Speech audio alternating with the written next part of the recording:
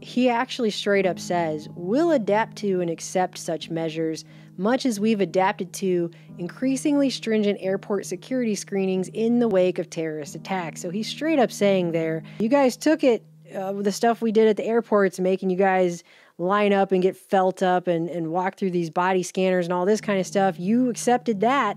And it says, the intrusive surveillance will be considered a small price to pay for the basic freedom to be with other people. And I just mind blowing that he wrote that statement the basic, Basic freedom. freedom to be with other people because they know straight up that isolation makes people crazy. It's it's a way of breaking somebody down to isolate people.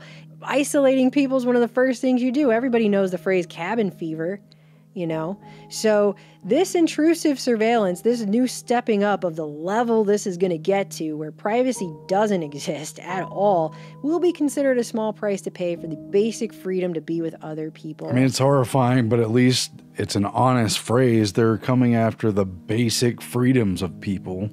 I mean, that's the most basic freedom that most people could even think of.